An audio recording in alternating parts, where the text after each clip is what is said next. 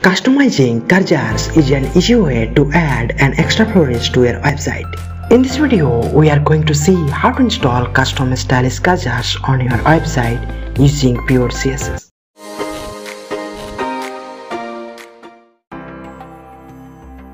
To install it, first of all log into your Blogger account then go to Edit HTML.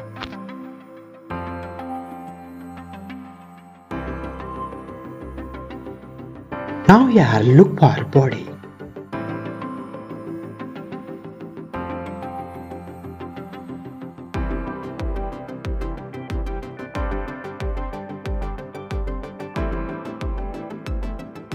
If found then add this following CSS property.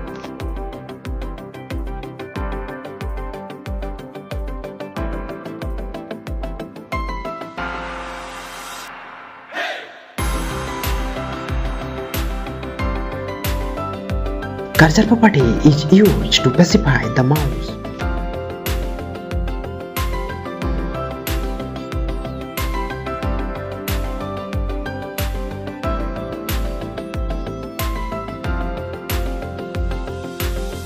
That's it. Now we add cursor pointer.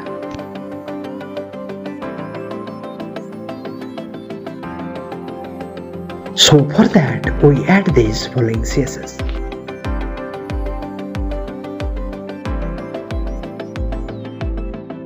Finally save your.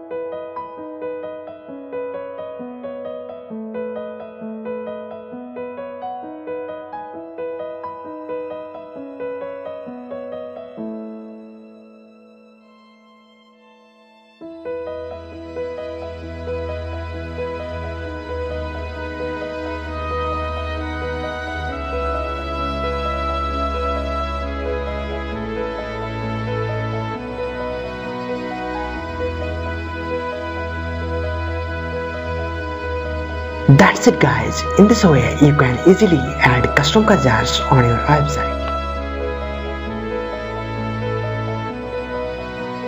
From this website you can get lot of cursors icons that you can add to your website.